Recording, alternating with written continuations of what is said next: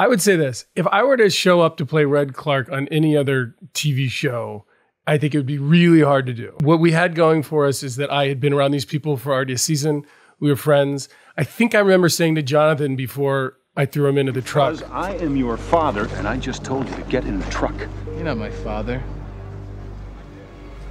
You never were.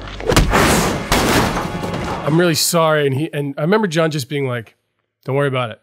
Do your thing. You know, because I did feel bad about saying, like, you're not my dad. Like that felt horrible.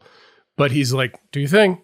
This is, you know, this is what we're here to do. So that helps when you have that other person on the side being like, I got you. We're good.